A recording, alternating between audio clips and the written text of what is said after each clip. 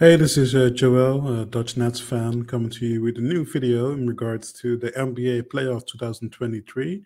Before I get started, you can follow us on YouTube, on the Hoop Spaces YouTube channel, and you can follow us uh, on Twitter at Hoop Spaces uh, or at Dutch Nets fan. Um, and uh, I have to say, the NBA is the best league in the world. I always say that together with the extreme marketing success of the UEFA Champions League, I think that the NBA is uh, the best league in the world. Um, and the, the, game ones have been proof of that, right? It's been amazing. There have been upsets, um, you know, great offensive basketball, um, some good defense here and there. Unfortunately, also some injuries. But um, yeah, it's just a, a wild round of um, game ones, and um, yeah, I'm just happy to be a fan of uh, the NBA. Um, so before we get started, um, I just want to say that um, overall, I feel that uh, the NBA is in a good place. I'm curious to see how the ratings were and how they compare, you know, to previous years. But overall, I do feel that the league is in a very good place, and uh, we know that Adam Silver always wants to experiment. Um, I'm not so sure about the, the new CBA and um, about the play-in or the in-season tournament, but the play-in tournament is one thing that um, was absolutely uh, a good experiment from Adam Silver. So for uh, the game ones, we uh, the playoffs started last Saturday, and the very first game was a game of my team, the Brooklyn Nets, and unfortunately we lost. We got blown out by the Philadelphia 76ers. Uh, James Harden had an amazing game with uh, 23 points, 13 assists, and he was on fire, especially in the first half, hitting on five three pointers. Um, another, uh, Mikal Bridges actually had a great first half, scoring 23 points in the first half, adding with 30 points, five rebounds, and only one assist. But um, the scheme that the Brooklyn Nets had um, in regards to double teaming, um, uh, Joel Embiid didn't work the way they hoped it would because there was always a three point shooter open and the three point shots were falling. Like I said, James Harden had some um, amazing three point shots, including his signature step backs. Um, you know, but you had the Anthony Melton and some other players um, hitting the three ball. I mean, the 76ers scored a record 21 uh, three pointers, um, you know, in the playoff game, and they had 13 three pointers in the first half. So that's just way too much. Um, so the Nets are going to have to see what they want to do. Are they going to keep the same strategy, as Draymond Green said, as they should, and just hope that the other guys don't beat us for four games? I mean, the Sixers are not going to be that hard from three in game two tonight, but we're going to have to see. Um, I didn't see the blowout from the Celtics against the, the Hawks. Uh, I did read that the Celtics let the foot off the gas a little bit, and that's why it was only a 13 point loss. But I think the Celtics were up uh, as much as 30 or close to 30 points throughout, at some stage in the game. And Celtics are going to have a fairly easy series of it, I think. Uh, Jalen points, um, 12 rebounds, and three assists. Um, Dejounte Murray had a good game for the Hawks with 24 points, eight rebounds, and six assists. But overall, for that this game was not very entertaining for um, you know the um, uh, fans who have no uh, no skin in the game. Um, for the neutral fans, so in that sense, let's see where that goes. Um, a more entertaining game was the Knicks against the Cavaliers. So the Knicks upset the Cavs. Um, the game was 101 97. Uh, Julius Randle came back and had a good game. Um, and I'm not happy as a Nets fan, to be honest, to at the Knicks won it's already bad enough, you know, that you lose Kevin Durant and Kyrie, and that you basically are from a contender to basically uh, in the middle of the pack. It's already bad enough that that ha- has happened. The last thing I need is the Knicks upsetting the Cavaliers in the first round. Like the Knicks fans are never going to live it up. So Cavaliers, please, uh, you have some former Nets there with Caris LeVert and Jarrett Allen. Get it done. But I think that um, you know the last game of the day of the first day uh, was the best game. It was amazing, high stakes, uh, great offense, uh, runs back and forth, uh, uh, three point shots, and a clutch De'Aaron Fox. What more do you need? Um, the Kings 126 um, 123 in their first playoff game in almost 17 years. Um, liked the MF Beam, I should say. Um, it was a highly enjoyable game. I did watch that game. Um, you know, Klay Thompson hit a couple of big shots. Steph Curry hit a couple of amazing shots, but um, the Kings managed to hold on to their lead and win Game One. I'm really curious to see where this series goes. I think it's going to be the most entertaining first round series, uh, maybe only matched by the Clippers Suns series. Um, and I hope that the Kings pull it through. Right, so light the beam. Then. Uh, uh, yesterday we had um, four more games. Uh, the Lakers had their first game and they blew out the Memphis Grizzlies. Um, again, injury is definitely a thing um, in uh, unfortunately in these rounds of game ones. And in this series, there were injuries as well. Uh, um, AD, I should say, went out with an injury. It looked pretty bad, but he managed to return to the game, and he had a, a decent all-around game with 22 points, 12 rebounds, three assists, had blocks as well. I think six blocks in total. Um, he was very effective on the defensive end. Uh, the Grizzlies um, had a big game from Jaren Jackson Jr. with 31 points, five rebounds, four assists. But um, uh, uh, Ja Morant had a scary fall. Um, rumors are that he might even have had some fractures in his hand, um, but is questionable for uh, for game two.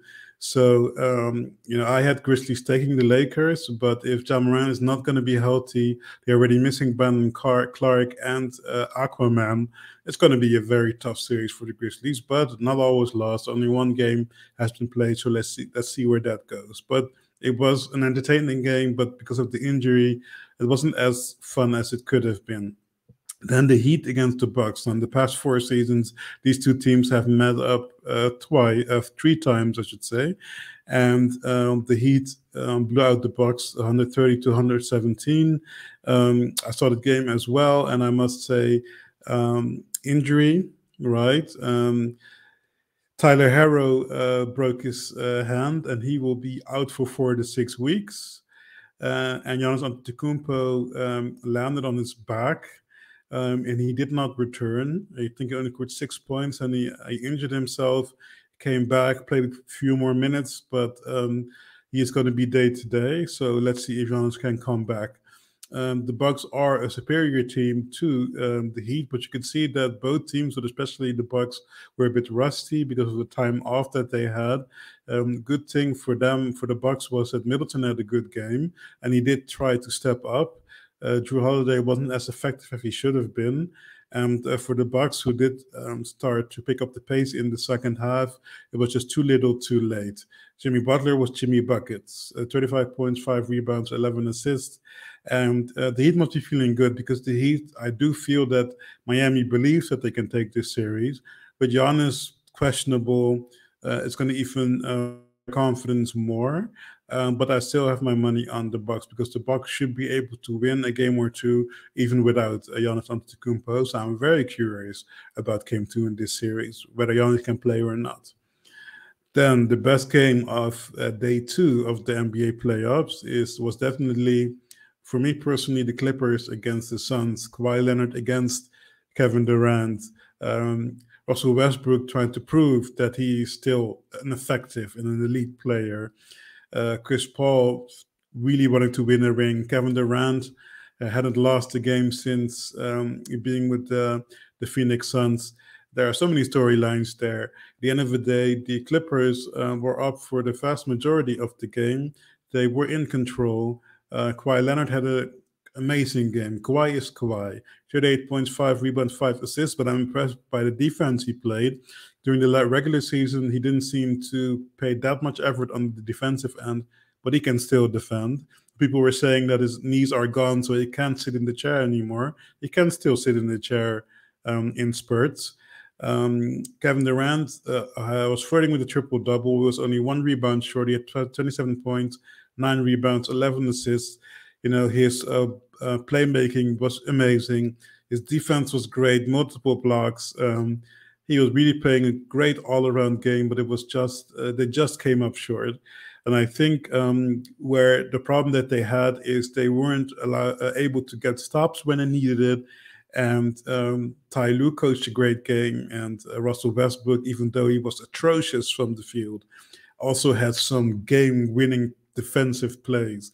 So uh, I think it's actually great that um, the Clippers won game one because I'm rooting for the Suns but I'm happy for uh, for Russell Westbrook's redemption arc. I don't like him as a player, but uh, the shit that's been said about him, he deserves this. He's earned, you know, his time in the sunlight. And um, let's see where this goes because the Clippers winning game one, the Sun, Suns are really going to have to show are they really the favorites in the West? And that's what I'm looking to see in game two in this series. The schedule is a bit unfortunate that they are always going to play every other day, never having two days off. So let's see how that works for the wear and tear on certain players. But I'm all in for watching every single game of this series. The final game um, um, uh, yesterday was the, the Timberwolves against the Nuggets. Um, I didn't watch this game. I'm not expecting to watch many games in this series, to be perfectly honest. Jamal Murray get 24 points, 8 rebounds, 8 assists, and Anthony Edwards at 18 points, 2 rebounds, and 5 assists. Anthony Edwards seemed to have been playing better than he did in the final play-in game. Um, however, um, I was hoping that the T Wolves could put up more of a fight against the Nuggets, but I guess that uh, they were maybe a little bit tired after those play-in games. Um, so let's see where, where this happens with game two. I think when the Nuggets win, no one's going to be surprised. I hope that the Timberwolves can make an upset, but um, I think the next two games are going to be very interesting um, to see. If Denver takes care of business uh, at home, then not always lost. But if they also manage to win game three, then that might be a sweep, or Denver just finishes this up in five games. So I think um, game two is going to be very important for the Timberwolves. So let's uh, let's see where that goes. Overall, I'm really loving um, the playoffs. It's the best time of the year. Um, we saw some great offense, some spectacular defense. Unfortunately, like I said, some injuries. Um, I love what the media teams are doing from the teams themselves, but also from uh, ESPN and from TNT. Um, so it's been a whole lot of fun. One pet peeve that I have is I do like that uh, NBA seems to be focusing more, finally, on illegal screens.